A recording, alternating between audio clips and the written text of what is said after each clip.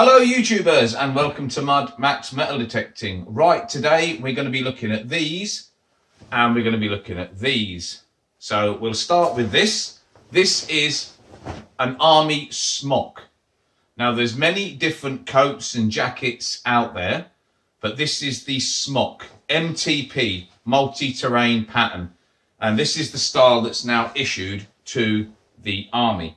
Uh, as you saw in the intro, you can get the old school darker camo, which Damon's got. Um, all the smocks are roughly the same. There are slight differences, but I'm going to review these and I'm going to show you why I think they are excellent if you go metal detecting. Okay, so this is the MTP multi-terrain pattern uh, jacket that is now given out to the armed forces. So why do I think this is so good for detectorists? Well, the first thing is pockets. This thing has got loads of pockets and they are big. I don't know about you, but the less bags I have to put on, the less bags I have to use, the happier I am.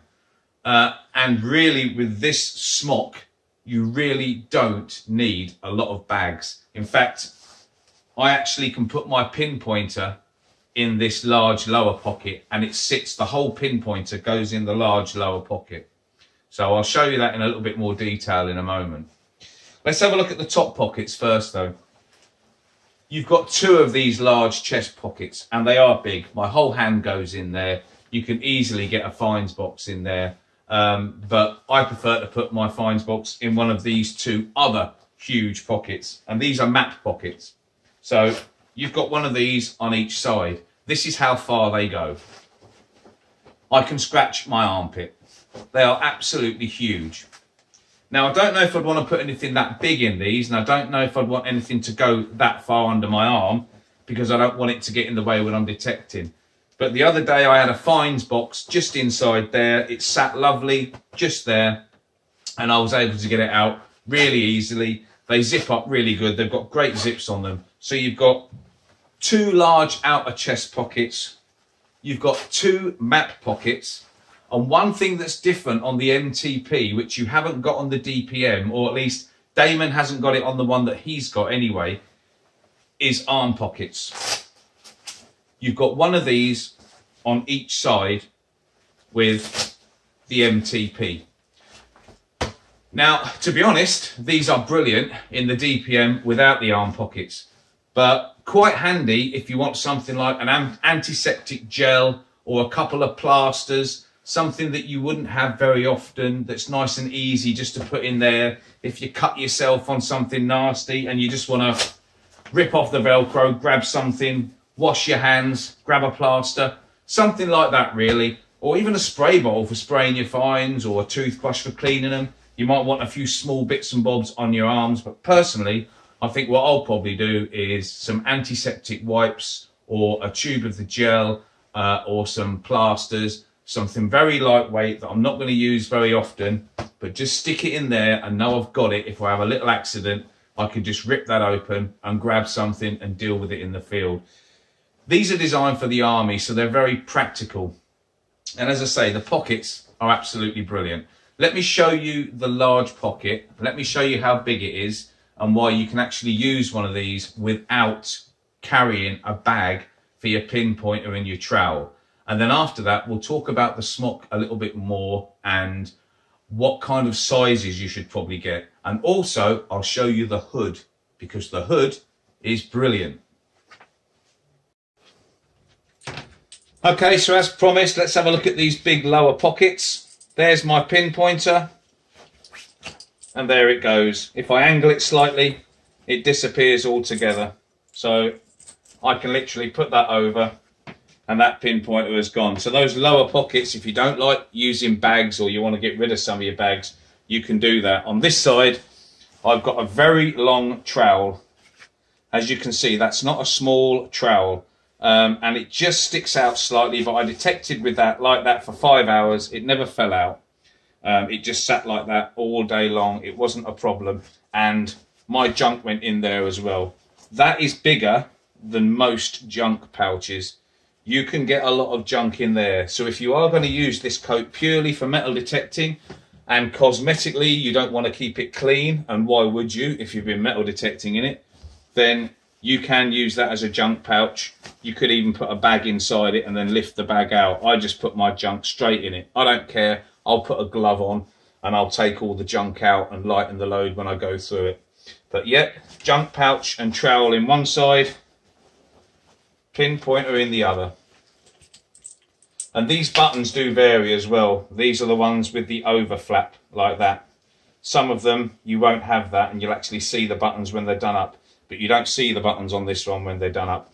But the DPM is exactly the same on the lower pockets. Uh, most of the smocks have these huge lower pockets and you can just carry pinpointer and trowel and junk and things like that if you want to eradicate belts across the waist altogether. I found it worked absolutely perfectly in the field like that. So yeah, I may continue to do it like that. I may not. I'm not sure yet. Um, just a personal preference thing.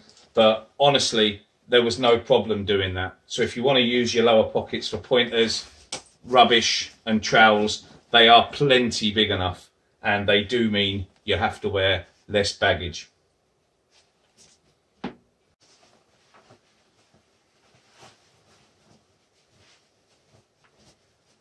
Now that's what I call a hood. Um, I wear glasses. That comes forward all the way. It's got wire.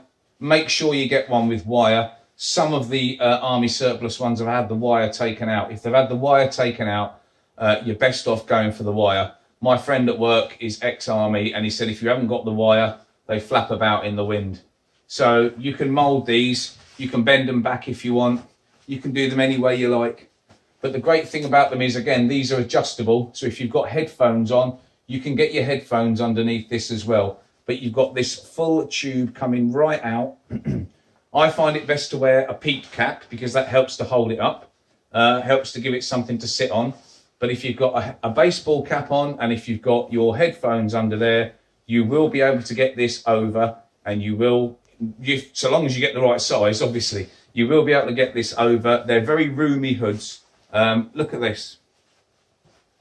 I hope you can see that, but they go right up in the air like that. So there's loads of room. When I've got mine on, I just pull the excess down at the back. So I've tested this and I can get this over my headphones. And I'm talking large over the ear headphones as well. I can pull these in nice and tight. I can crimp this to any shape I want. So if I want to crimp it and make it even tighter, I can. But if I get a light shower, that's going to keep my glasses nice and dry and clean. So I'll give you a side on view.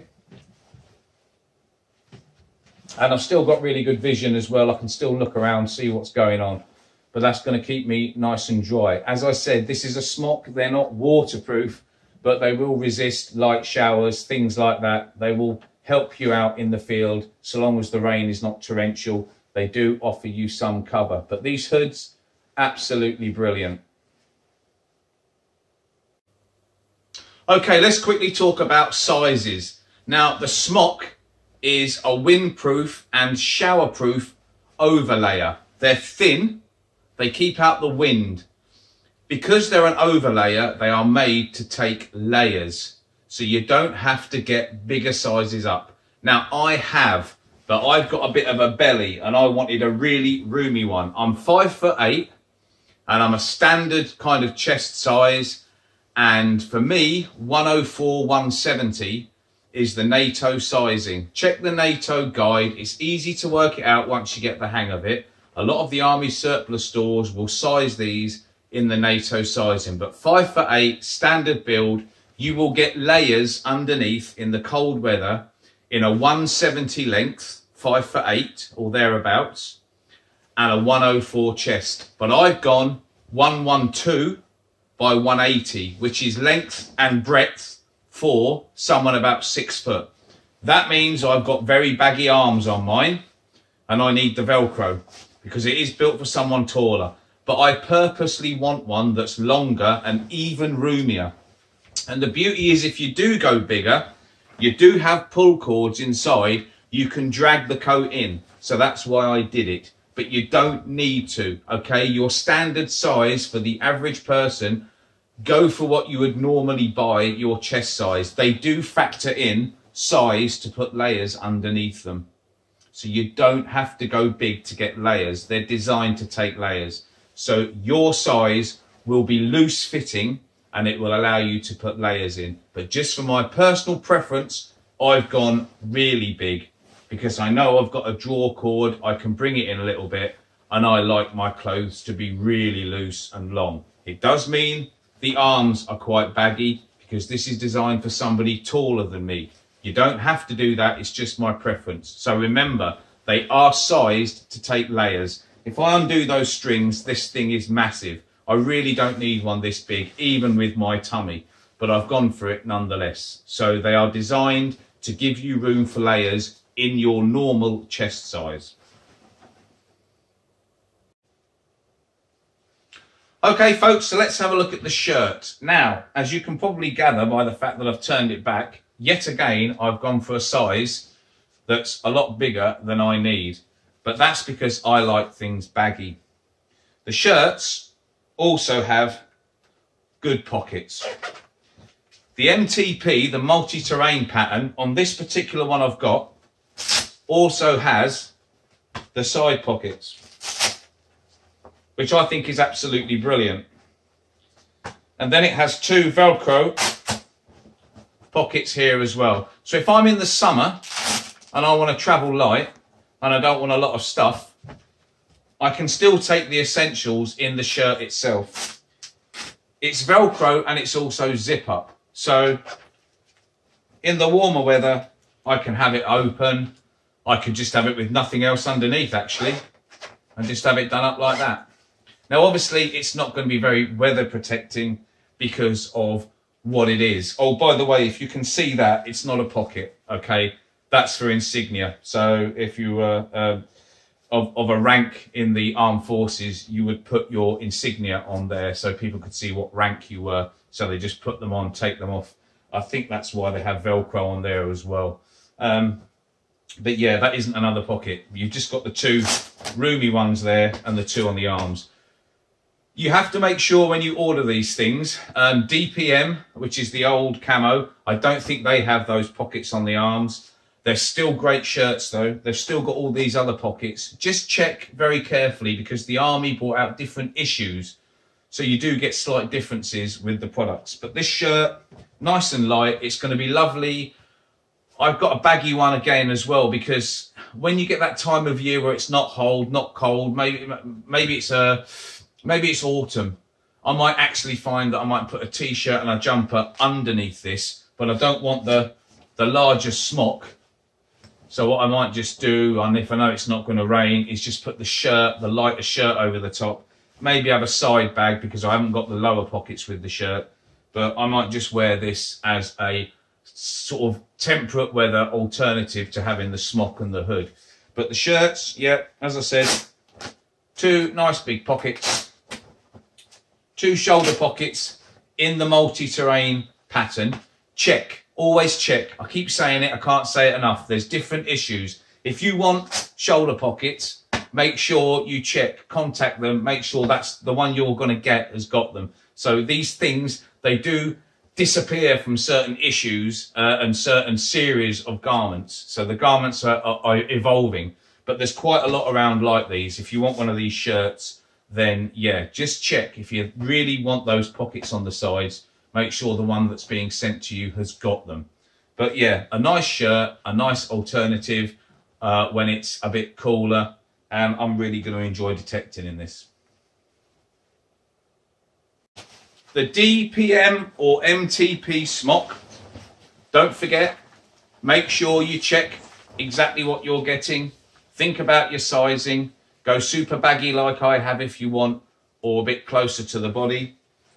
You can go longer or shorter. There's quite a few variants. And when you've made your choice and you've got your jacket, either put loads of layers under it for the winter or take the layers off in the nicer weather. Stick all your stuff in all your pockets. Get yourself ready and go detecting. Right, I hope you enjoyed that, folks. I can certainly see why detectorists who already have army surplus and smocks like this one like them so much. I absolutely love it. I absolutely loved using it in the field. So why don't you go check them out, see if it's something that you think might work for you. Okay, until the next time, folks, good luck, happy hunting, and we'll see you soon.